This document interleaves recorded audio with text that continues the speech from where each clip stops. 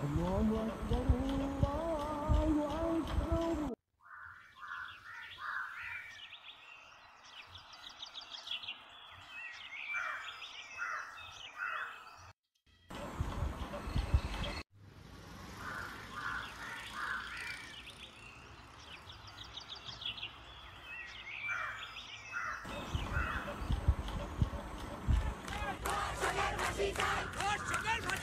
Argentina!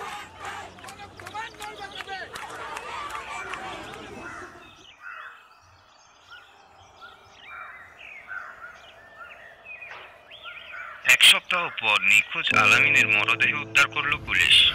Chittagong পটিয়ায় poster লাগানোর কাজ করত আলামিন। ধারণা করা হচ্ছে দর্শনের বিরুদ্ধে পোস্টার লাগানোর কারণে খুন হয়েছে আলামিন। এই নিয়ে তদন্ত করা হবে বলে জানিয়েছেন পুলিশ।